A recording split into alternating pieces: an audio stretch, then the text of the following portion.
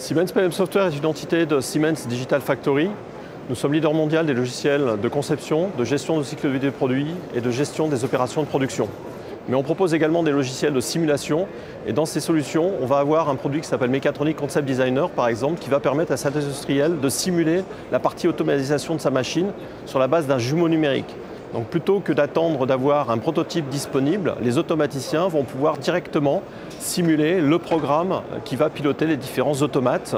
et contrôler que ces programmes, ce programme va bien euh, être efficient. L'avantage, ça va être une réduction euh, considérable des, euh, délais, de garantir par exemple qu'on va livrer donc en temps